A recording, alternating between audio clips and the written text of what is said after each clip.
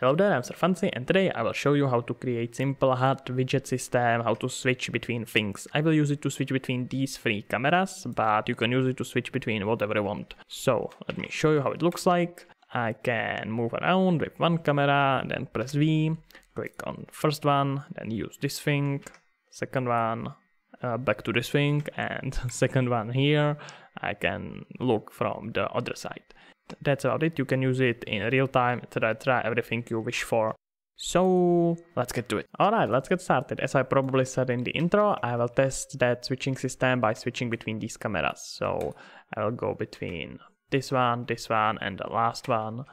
Compare something like that. If you're interested how it is set up, it's like really super simple. I have here just uh, deactivating and activating different cameras. That's why it has such a strong jump. But I won't need to uh, do any of these keyboard switching. Let's set up here some HUD. So uh, I will do it just in content because I will have very few files today. So let's right click, create the user interface and widget blueprint. And let's call it switch menu underscore widget. Let's open that. And first thing you will want to do is to add here some buttons. So click on common and put here a button uh, let's switch anchor to center, something like that. Uh, let's put it here and let's put it also text right in there and that text should be camera underscore one. Right, it's cool. Let's change the color to something like that and maybe I would make it a bit bigger. So font, font and let's set size to 30. Yeah, that's cool. And let's also rename the button right here on button to camera underscore one B as a button. And what I will do now is to just select these two things and duplicate it.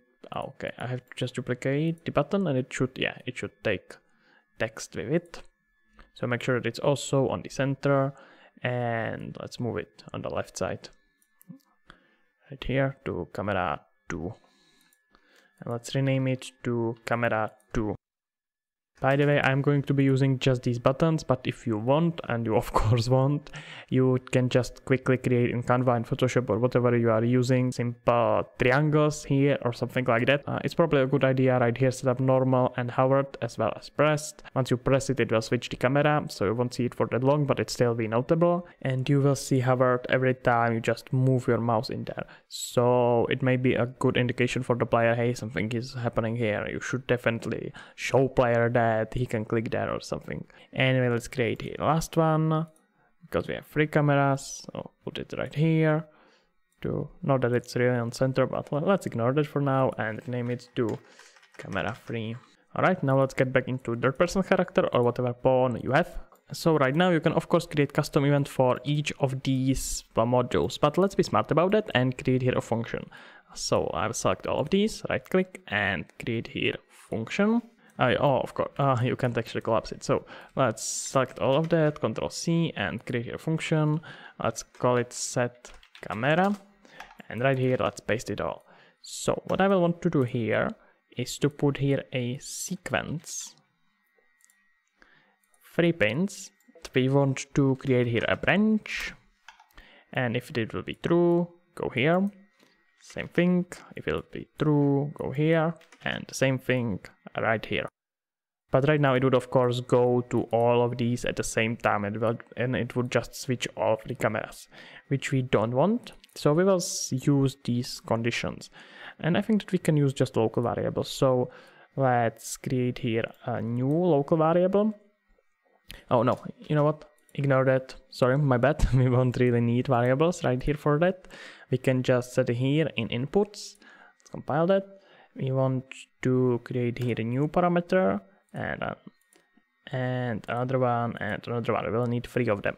And let's put here camera underscore one and just duplicate it two times to set it to camera two and camera free And what you would probably want to do right here in descriptions to put here use only one in case that someone else in your team will work with that. So right here we will just connect it like this.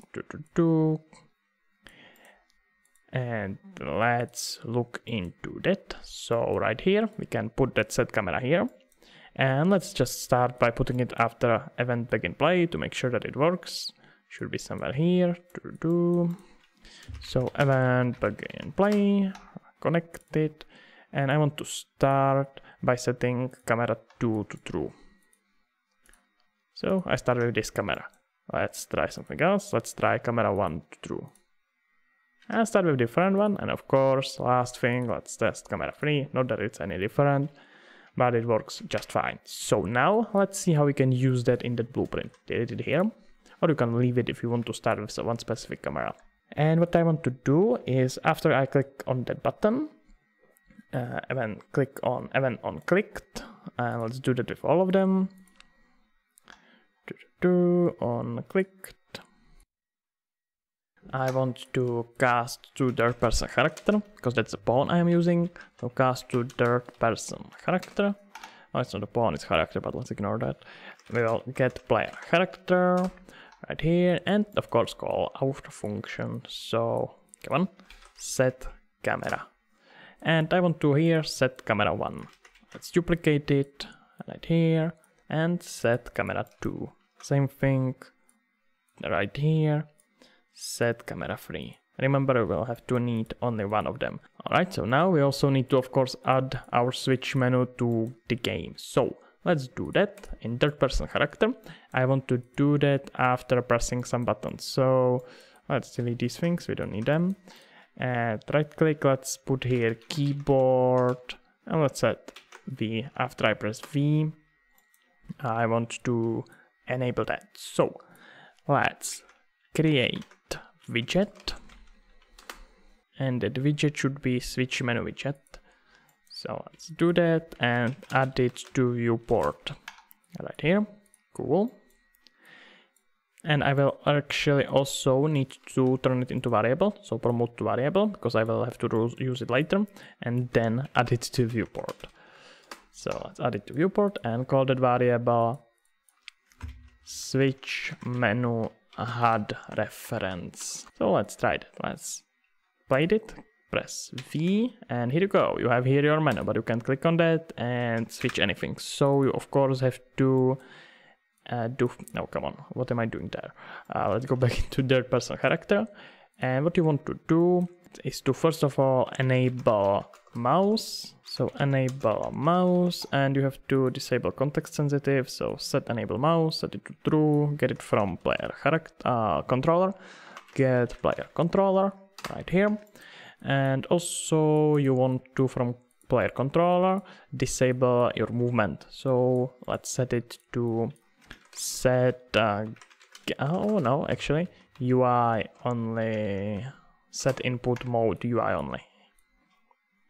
And it may not be a bad idea to select our switch menu as in widget to focus just just to be sure in case you have a few more widgets. So let's do that uh, so I'll press V and click on each of them and look at that I can switch between cameras and I can't move or do anything that's cool that's what I want Alright, right here I have actually made a mistake. I had here something else in uh, after add to viewport and before set input mode UI only, you have to set here show mouse cursor and make sure that it's taken from player controller. Alright, that's cool. So now if we click on that, we can switch between cameras, but I also want to make this disappear once I end it and I also want to play the game again. So for that, let's click on edit that person character and we will have to look back over into our function to set camera. And what you want to do here, after any of any of these three events happens, you will want to take our switch menu HUD reference, that's which is just a reference from for this, and you want to delete that. Let's set it to remove from parent. And the other thing is that you want to do basically reverse of this. So let's take our show mouse cursor and switch it to false right here. And the last thing is of course to set it to game only and you don't want to interact with UI anymore. So set game uh, input, set input mode game only right here and that should do it. And you can of course connect it after all three of these That's because each time you run this function, only one of them is, is supposed to be true. So let's see if it works. Compile, click on play, I press V, let's switch to camera 1, and look at that, it disappeared, looks good. V one more time, hey, look at that, that's cool. What I also like to do is to put here just super small uh, blur. So let's find here background blur, put it here, uh, set anchor to this right one, and disable everything, set it to 0, 0, 0, 0. We have four of these things. And let's set the order to minus 1, and blur strength only to like 7, may maybe even less, 5. Yeah, let's do 5. Click on play, and look at that. You have here this short blur. Okay. Alright, that's about it. I hope that you learned something, and if you want, you can join the Discord community, link in the description, where there is plenty of talented game developers, so I'm basically just telling you to, uh, to join. That, that's it. Uh, Sir Fansi out.